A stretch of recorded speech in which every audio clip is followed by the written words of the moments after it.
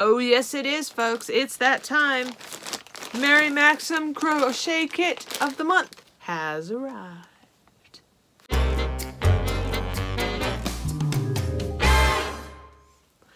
Hey peeps, it's JJ with Baby Girl Craftin', and today we are going to be opening up the Mary Maxim kit, the crochet kit of the month.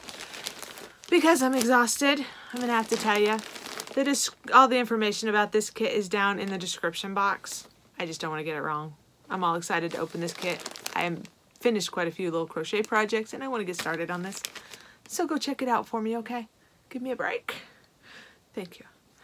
But so you do know this is a kit that I subscribe to um, every month. It is my favorite yarn kit that I get so far.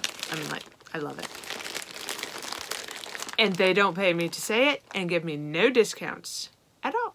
So Mary Maxim, if you check out my account and you really want to give me, you know, like a discount, I'm cool with that. I'm just kidding. all right, let's see what we got. All right, so we got our packing slip. You guys don't need to see that. Oh, so pretty. I actually have extra of this yarn too because it came in my little um, mystery kits that I've got. Oh, but it's fine. It's going to be, oh, wow. Okay.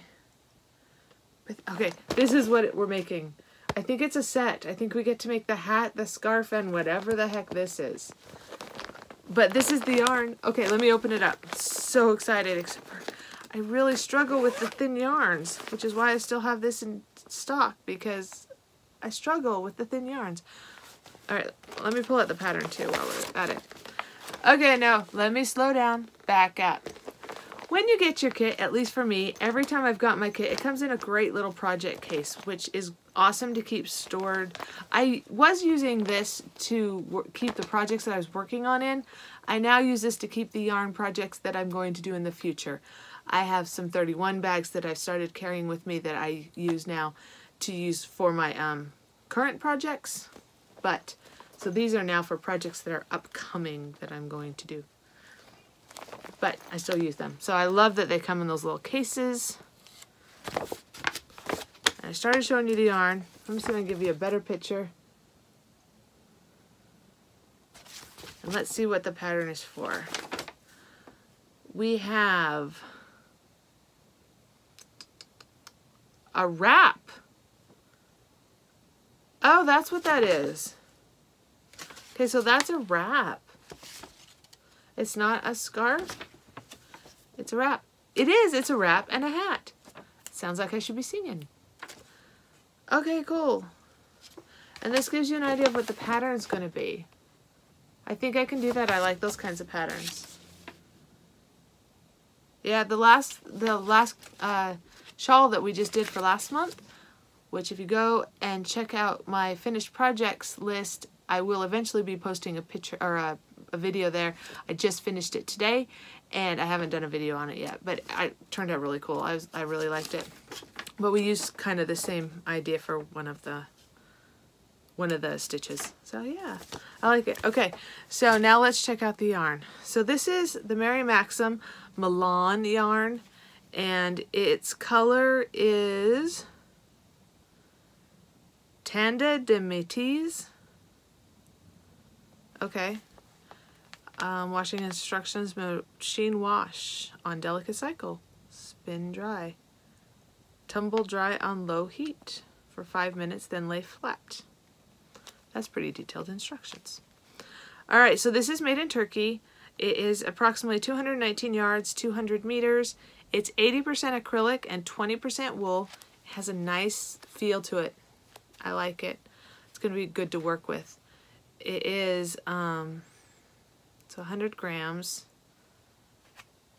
But it doesn't tell me, oh, there we go. So it is a light. It's a 3. So it's not like fine. It's a lightweight. I'm sure I'm playing with it and you guys aren't even getting to see it. So it's kind of a lightweight but it's not a fine weight, so it should be better. I don't know. But look at the colors. Is that not amazing? Like, woo. It's, it's just gorgeous. It just, gorgeous. Let me show you one where the yellow,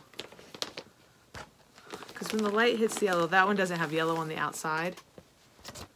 This one kind of does. So look at, I don't know if it's coming across in the camera as cool as it looks here, but it just is like almost stunning. Like it's just like boom.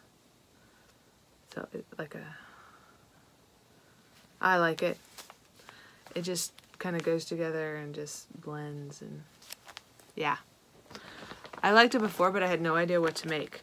So I'm excited to make this. So now I have two crochet projects that I haven't done. I just got, oh, I actually have three. So I'll be working on my Mary Maxim project. I will be working on my Darn Good Yarn project, and I will be working on my Knit Crate projects. And those are the projects I will be working on over the Christmas holiday. What are you going to be doing over the Christmas holiday? Probably socializing with friends and family and opening presents. I'm opening my presents for you guys right now. All right, happy holidays. And until next time, later peeps.